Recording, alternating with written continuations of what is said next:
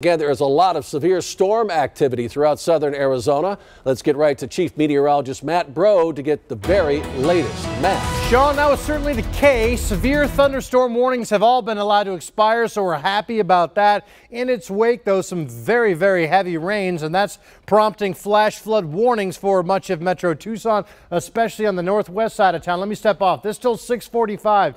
We're talking about one to two inches of rain that fell in a matter of about a half an hour on Tucson Northwest side of town. This Oracle Road, this I-10, if you're in that vicinity across northeastern Pima County, southeastern Pinal County, you are under the gun. Please do not cross any flooded roadways. Also on Tucson's southwest side of town, we saw some heavy rains near the Tucson Estates area, so flash flood warning also until 6 o'clock this evening.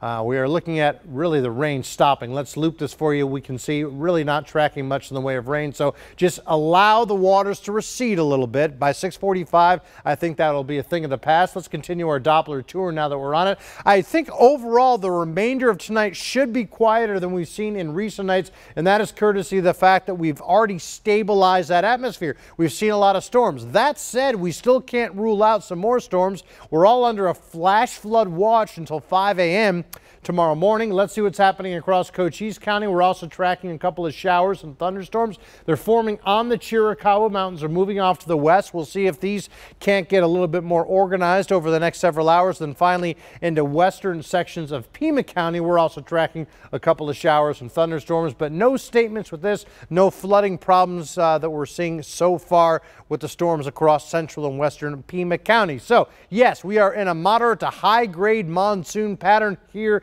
in the first few days of the month of August. Sean, how long does it stick around? We'll pinpoint that and detail it in your full forecast.